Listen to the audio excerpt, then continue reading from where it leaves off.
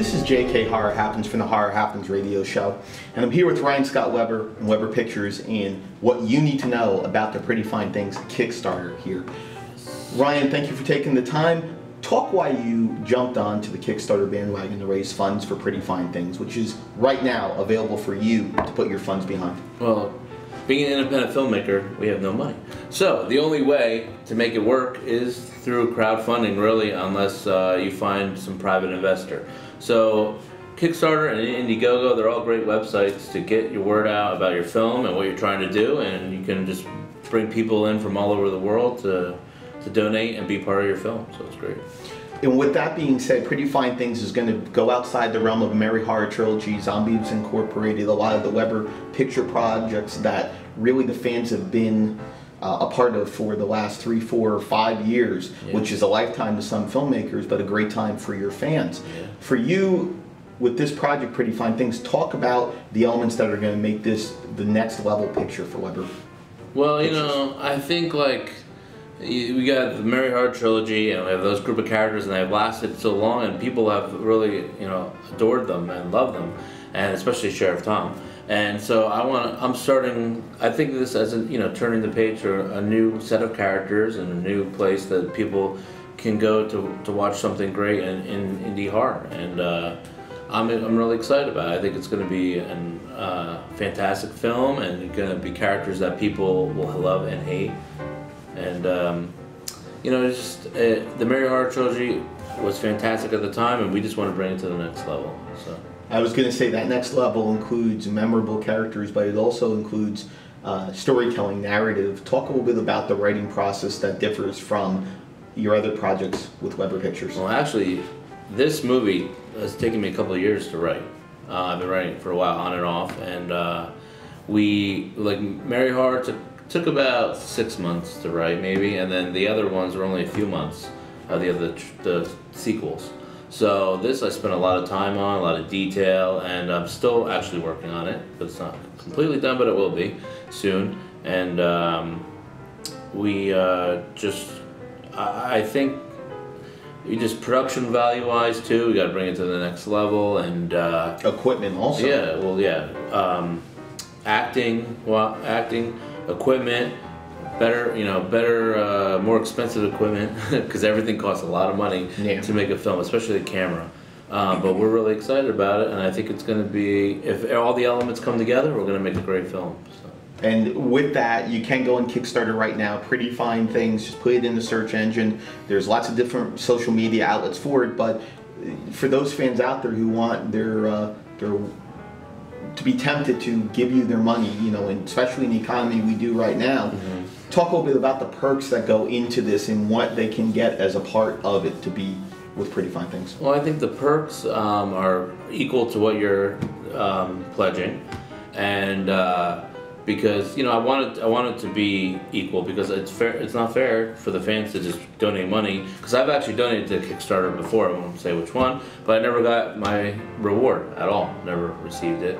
Reliability. Never heard back. Um, so I'm, I'm a reliable person. We finish our projects. We get uh, things out there, and um, you will get your rewards as long as we get our our funding. And it's a two-way street. It's you know everyone has to come together and make this happen as a as a team. So uh, I think you know we're on. We have all great interviews uh, with you, obviously, but I also did uh, some talking with uh, HorrorSociety.com and the Sexy Armpit, uh, which is a blog, and um, the HorrorScene.com. So like the word is out there, and we just gotta spread the word even more. So tell your friends, get the word out. If you liked one of my films or my projects, or see me at a con, or even if they like you. Well, you know, some people do, some people don't. But you tell your friends, your family, your enemies, your frenemies, everyone that you know to be a part of this. And the Kickstarter um, for Pretty Fine Things is going on right now. You can support it. And as we close out here with this conversation, for Pretty Fine Things, talk a little bit about the cast that's going to be a part of this because between your writing, the equipment upgrades, the perks, you know, all these funds are going to go into Pretty Fine Things to bring in talent. Talk about that talent. Well, we, we want fresh faces. We want new people. We want new talent. I want some. I want people that haven't been in my other projects, but we also do have a few people that have been in my other projects, and I want to showcase their talents. Uh, Joe Parascan, Edward X. Young, and Patrick Devaney. They are all three great actors um, in the scene, and I, I wanted to get them all together in one movie and have a, some, a wild time. And also, John Link will play the father, um, who is is slowly dying, but uh, in the film. Wow. And I think it's going to be a challenge for him. Uh, he's at, I think he's at the top of his game right now. But um, I think he's, I'm not sure how old he is, but uh, he's, uh, he is. I mean, He's very he's been around forever, and he's, he's yeah, he's great, and he, you get like this vibe from him that I just I wrote this character kind of based off of his vibe.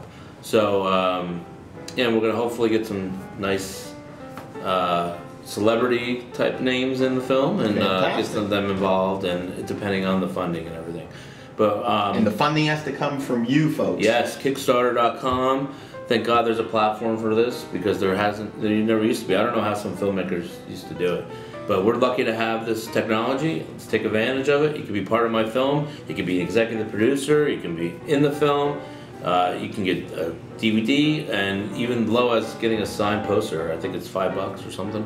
That's so great. any amount ha- helps. Honestly, if every person on my f- friends list on Facebook donated six dollars, we would be over our goal.